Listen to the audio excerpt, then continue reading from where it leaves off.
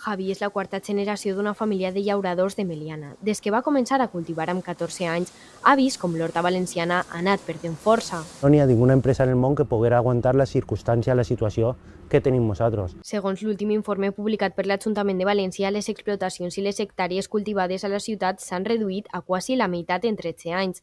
També ha decaigut el nombre d'agricultors, que han passat dels quasi 1.000 als 500, importància el percentatge de dones que actualment només representen el 19% de la mà d'obra. Entre les causes principals, la pressió urbanística, els preus baixos i la falta de relleu generacional. La pressió urbanística és un dels motius i després els preus baixos en diverses campanyes dels productes més tradicionals que cultivem, cultivem en l'horta pues, també fa que no n'hi hagi un relleu generacional i per tant cada vegada n'hi hagi menys llauradors i llauradores i menys explotacions agràries. Els agricultors es queixen de la falta d'equilibri en els preus perquè els seus productes no tenen un valor definit, un problema que els afecta a ells i als consumidors. Ni fa falta que un consumidor compre una tomata a 7 euros però tampoc fa falta que la compri a euro i mig quan el llaurador està perdent eh, diners per pa criar aquesta tomata. El Pla de Desenvolupament Agrari pretenia donar ajudes per a la comercialització, la producció i les infraestructures, però la falta de temps i l'excés de burocratització han dificultat la seva aplicació.